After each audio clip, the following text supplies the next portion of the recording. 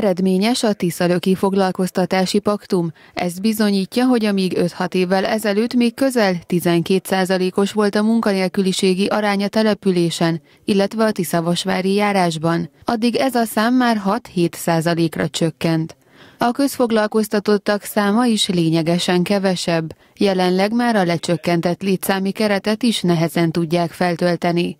Az ehhez hasonló paktumok célja a teljes foglalkoztatottság elérése. Maga ez a foglalkoztatási paktum, amely járási szintű, azt akarja elősegíteni, hogy minél több gazdasági szervezet, vállalkozó, gazdálkodó alkalmazzon embereket megfelelő képzettséggel, és ez a foglalkoztatási paktum erre a térségre koncentrál, de van egy megyei foglalkoztatási paktum is, meg a kormányhivatalt is bekapcsoltuk, tehát mondjuk úgy, hogy egy összehangolt kooperációban ö, sikerült a munkanélküliségi rátán javítani.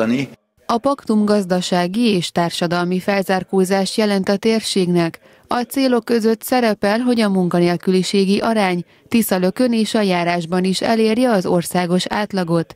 Ez jelenleg 3,5 százalék. A foglalkoztatási paktumiroda kapcsolatot alakít ki a munkaadók és a munkát keresők között. Az Agrár és az Ipar Kamara pedig segíti a képzések lebonyolítását. 25 vagy 27 főnek sikerült munkát, munkáltatót találni. A képzésekben még jobban állunk.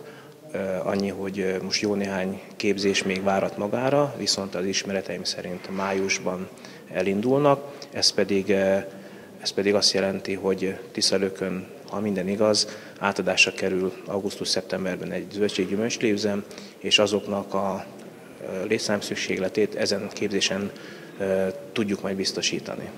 Az önkormányzat az ipari park fejlesztésével próbál segíteni a munkahelyteremtésben.